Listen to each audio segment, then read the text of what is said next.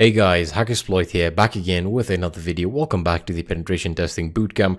In this video, we're going to be talking about the um, we're going to be talking about Nmap scans. Uh, more specifically, we're going to be talking about the Connect scans or the TCP Connect scans, and then the half open SYN scans or stealth scanning as it's called.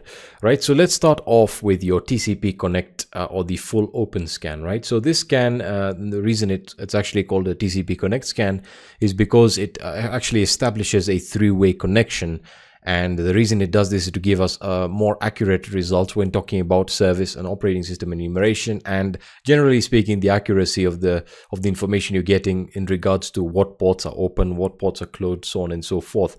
Now of course that uh, comes with uh, an additional or an added disadvantage and that is that uh, the, these scans are typically very slow because you're going through it's connecting to every port individually so it's actually performing or establishing a TCP connection with every port. And when I say that I mean the entire connection. So SYN, SYN ACK uh, and then of course ACK and then it resets it using the RST TCP flag right um, and uh, when talking about the full open scan, of course, these scans based on um, based on the type of, of connection they're trying to establish with a particular port, these are very easily uh, these are very easy to detect and prevent through firewalls, right? So uh, that's why you typically don't see this scan being used. But in, in the event there's really nothing pre preventing you from performing these scans, it's a very accurate way of getting results. And the way you run it is by typing nmap st, right? So that is your TCP connect scan, and then we type in the IP address, so 192.168.1.38.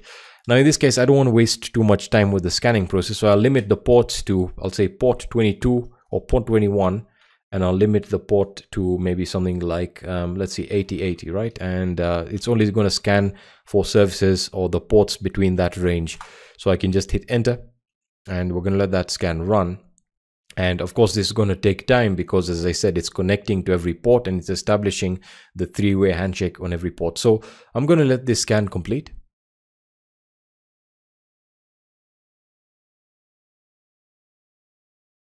Alright, so the scan is complete and it went through the port range and it's given us the various ports and the services. Remember, we've not included service enumeration, which we can if you want to get more information regarding the services and of course operating system enumeration.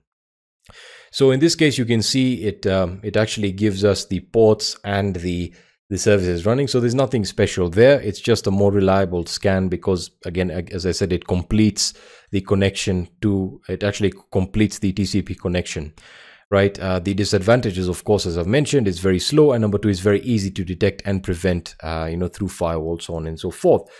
Uh, now let's talk about the interesting scan, which is uh, the one that many of you probably familiar with but really don't understand how it works and why it's so cool and that is the stealth scan or the half open scan. All right so the, the stealth scan is quite similar to the uh, to, to, to the tcp open scan or the tcp connect scan sorry in that you're actually going to establish a TCP connection, but you're going to just uh, cut it short before it the the whole process is completed.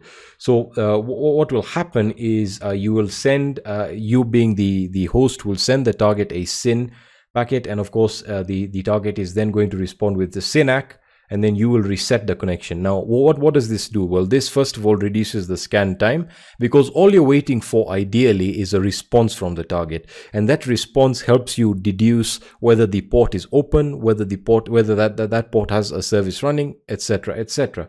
Right? Now, if the port is open, uh, you will send a SYN packet and the target will respond with a SYN ACK. That's quite simple. If it's closed, you'll send a SYN packet and if, if, it, if the port is closed, the, the target will respond with an RST, uh, with, with, the, the, packet with an RST header or the RST flag, sorry, in the header. So what's happening is, as I said, you just send a SYN. If it's open, it's uh, that the target sends a SYN ACK back. Um, and then of course you respond with an RST and you close it. Uh, if if in in the event the the port is closed, it it responds with the RST after your SYN or your initial synchronization packet is sent. So it's uh, fairly simple. Now, uh, again, as I said, one advantage of this is uh, is of course it's much much quicker, and secondly, it's able uh, you're able to avoid uh, firewalls or to evade firewalls rather. Uh, and, and it really doesn't raise that much attention because you're not establishing a connection with all the ports. Now to run it, and as I said, most of you will already be familiar with it if you've been scanning various boxes on Hack the Box or on Vulnerable, is nmap ss, right? So lowercase s and uh, uppercase s, and then you type in your uh, your particular device here, and you will see that it's going to be much, much faster than the uh, the the connect scan, the TCP connect scan, and this is the the preferred way of running Nmap scans. So there we are. You can see that was extremely quick. I didn't even have to pause the video, and of course you can then combine it with uh, with stuff like service uh, service version enumeration, and of course that will take a bit uh, a bit more time, but it it's, it'll give you um, much faster results based on, uh, on the amount of services and the port range that you have specified. So again, I'll just wait for this. It shouldn't take too much time at all. Uh, but I, again, given that it's going through this, these, uh, it's going through all the services and through the 1000 ports, what I can do is I can just shorten the, the scan period. Uh, and we will take a look at timing options with Nmap. For now, let's just stick to to actually the, the let's stick to understanding the scan types. So um, I'm just going to enter and we're going to run that and we'll, we'll specify the port range so that should run marginally faster. So I'll wait for this to complete.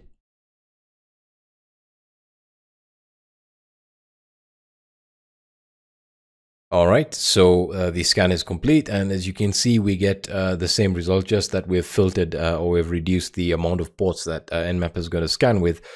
And um, we got the service versions right over here displayed. So again, Microsoft uh, FTPD, OpenSSH 7.1, so on and so forth. Now, the cool thing about running Nmap scans, and if you're a student and you're trying to learn about Nmap and the various TCP uh, flags that are being sent and the, the TCP through handshake is the, the cool thing is you can actually use uh, a tool like Wireshark to analyze these packets and you can actually see all of these packets being sent. So what, what I'm going to do is I have Wireshark open right over here, right? And um, I'm just going to double click on my on my capture device here and I'm going to stop that, right? And the reason being is I'm going to start the scan.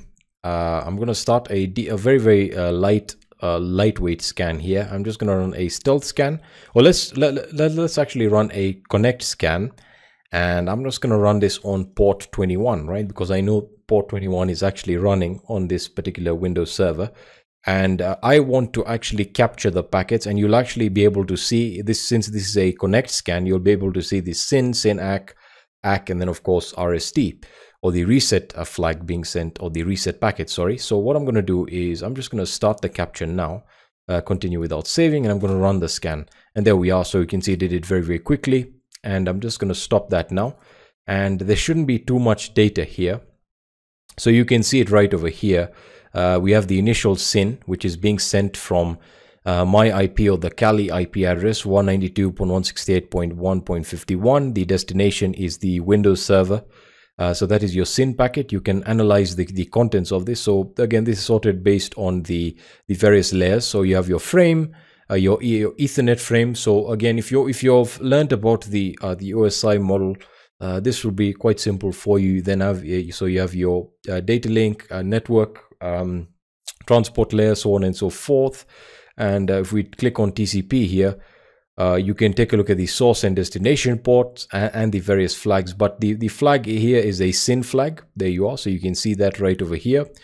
And if we take a look at the options, um, I don't know whether I want to cover that right now because I'm not covering Wireshark until a later section. So uh, you can look at the flags for now. So that's your SYN flag, right? And then you have your, um, let's see, we have your SYN-ACK that's going to be sent back from the server. So that's 192.168.1.30. That's being sent back from Windows Server uh, back to my device. And again, I can click on the flag. You can see it's SYN-ACK and so on and so forth. So you guys, you, you can actually try this out yourself if you're trying to understand how this works. So we then have the ACK being sent uh, from Kali to the Windows server and then the final packet, which is the RST as I mentioned, and that's being sent to terminate the connection. So what I'm going to do now is I'm going to run the stealth scan and we'll actually see the difference now, right? And we're going to run it for the same port and I'm just going to start a new capture here, continue without saving, and I'm going to run that scan and that'll run it very quickly and I'll stop the capture and there we are. All right, so let, let, let's explore the, the, the results now. So um, we have only a few, we have ARP, a few ARP uh, packets here or requests rather, uh, which is pretty cool, but I'll get to that later. So we have our SYN-ACK There we are. So sorry, we have our SYN first. That's being sent by Kali to the server. The server then responds with SYN-ACK and then we immediately terminate with our RST. And uh, let me just resize that back over here. And there we are, we can see the RST. So that resets the connection and the scan is much quicker as you can see than running a connect scan. So that's uh, that, that's how to differentiate between them in terms of the uh, in terms of the TCP flags that are being sent and how they are handled. So you're now starting to understand how Nmap utilizes TCP flags to to actually uh, to, to, actually create these really really specialized uh, scans based on what you require. And uh, again, this will get really interesting when you're talking about firewall evasion and Nmap scripts and stuff like that. Um, but yeah, that's going to be it for this video. Let me know if you have any questions on the Hackersploit forum at forum.hackersploit.org uh, or in the comments section, and I'll be seeing you in the next video.